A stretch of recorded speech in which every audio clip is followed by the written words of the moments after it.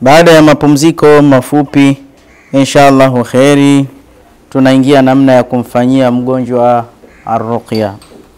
Endapo unahitaji kumfanyia mgonjwa ruqya, kwanza lazima aandaliwe huyo mgonjwa kwa kumwondoa itikadi za kishirikina.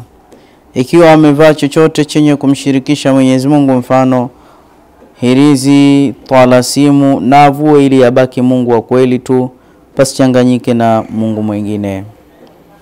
Watakaoshuhudia tendo hilo nao wasivae chochote cha kishirikina. Eneo la rukia pasiwe na chochote cha kishirikina kama vile mazindiko ya kutundika makaratasi milangoni au kuchimbia chupa milangoni pamoja na vitu vingine mfano wa hivyo. Hata hivyo, eneo hilo pasiwe na sanamu ya namna yoyote iwe ya namna yoyote iwe ya kuchonga, ya mti au jiwe au ya chuma au ya plastiki au ya udongo uliofinyangwa. Vilevile haifai mtu yeyote katika eneo hilo kuvaa nguo yenye picha ya viumbe hai kama watu, simba, samaki na wengineo. Hivyo vyote ni sanamu. Au kuwepo picha za kamera ukutani au picha za gazeti za viumbe, hizo zote hazifai. Kinachotakiwa pasiwepo picha ya kiumbe hai ya namna yoyote. Jambo linalofuata, wote hawa wawe na udhu na wavae kwa kujistiri kisheria. Msoma ruqya lazima asome nyiradi, dua za kinga kabla hajaanza shughuli hiyo, na wote waliopo eneo hilo wasikose kufanya hivyo, yaani kwa uchache wasikose kusoma suratu Ikhlas, qul huwallahu mara tatu, suratul Falaq, qul a'udhu birabbil falaq mara tatu, suratu Nas, qul a'udhu birabbin nasi nayo mara tatu, pamoja na ayatu kursi mara moja. Hiyo ni kwa uchache. Wasome a'udhu bikalimati llahi tammati min sharri ma khalaqa. Hii waisome, maana yake ninajilinda kwa maneno ya Mwenyezi Mungu yaliyotimia kutokana na shari ya iliyoumbwa. Vile vile wasome bismillahi alladhi la yadhurru ma'a ismihi shay'un fil ardh wala fis samai wa huwa samiul alim, kwa jina la Mwenyezi Mungu ambaye hakipati madhara chochote kilicho pamoja na Mwenyezi Mungu mbinguni na ardhini, na yeye ni msikivu na ni mjuzi. Wasome pia la ilaha illa Allah wahdahu la sharika lah lahul mulku wa lahul hamdu wa huwa ala kulli shay'in qadir.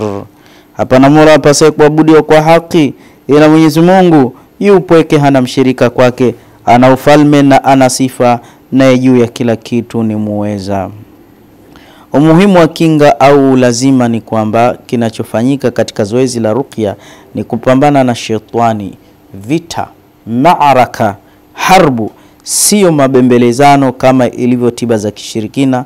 Kwa maana hiyo, msoma ruqya ajue amechokoza vita pamoja na wote wanaoshuhudia. Kiumbe wanayepambana naye amepewa uwezo wa nguvu na Mwenyezi Mungu kuliko mwanadamu na hapendi kutoka na hata majini wenzake hawapendi atoke. Basi bila ya kujikinga, huenda akadhurika mtu au watu miongoni mwao. Kitakachoendelea, msomaji atamlingania mgonjwa kwa kumpa mawaidha ya kumtambua Mola wake na uwezo wake, ili mwingine imani ya kwamba Mwenyezi Mungu anaweza kumponyesha na imwingie hofu endapo amekuwa asi, ili alete toba na shetani asiwe na nguvu tena juu yake.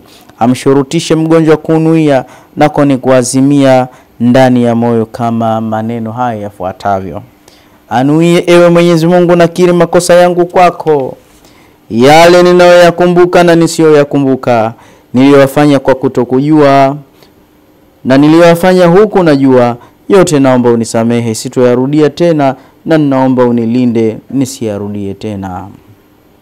E Mola wangu, huenda makosa yangu ndiyo sababu ya tatizo hili, basi nimetubu. E Mola wangu, naomba uniponyeshe, kwani hakuna mponyaji ila ni wewe. Ewe Mola mjuzi, naomba uondoshe mashetani wanaonisumbua, iwe wameniingia kwa namna ya uchawi au kuwafanyia jeuri au mapenzi yao tu juu yangu ili wanipotoshe. Naomba uondoshe, kwani hamna mwondoshaji ila ni wewe. Nia hii msoma ruqya naye atanuia kwa niaba ya mgonjwa pamoja na ndugu waliokuwepo eneo la ruqya, nao watamtilia nia ndugu yao kutaka Mwenyezi Mungu amfanyie wepesi na amponyeshe. ndipo mgonjwa na ndugu itabidi waanze kumdhukuru Allah kwa kutaja sifa zake au majina yake, ili hali nia zikiendelea katika nyoyo zao, ili kuondosha fikra ya kukumbuka mambo yasiyohusiana na shughuli inayofanywa hapo, na fikra zao zielekee kwa Allah subhanahu wa ta'ala.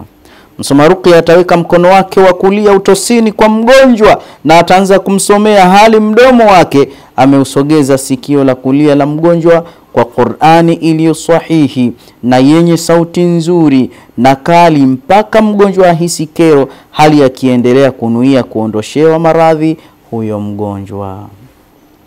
Kitakachotokea ni mgonjwa kuanza kupiga miayo pamoja na kubadilisha mkao mara kwa mara.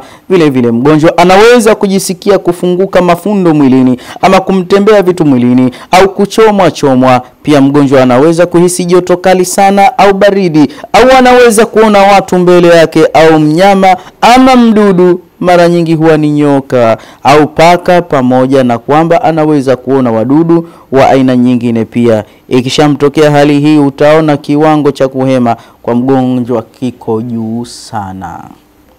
Hapo sio ajabu akaanza kutetemeka au kushtuka kwa vipindi au kuyumba, na wengine huanza kusinzia. Ukishaona hali hiyo, tambua hiyo mgonjwa lazima ana jini amemtawala kiwiliwilini mwake, na hizo ni dalili za kudhihiri huyo jini. Hapo ongeza bidii kwa kupandisha sauti pamoja na kuzidisha nia ya kumtaka Mwenyezi Mungu amteze nguvu huyo jini mbaya, ndipo mgonjwa atatetemeka zaidi na atasema na atahema sana, pamoja na kupepesa macho haraka haraka, pamoja na kupiga makelele.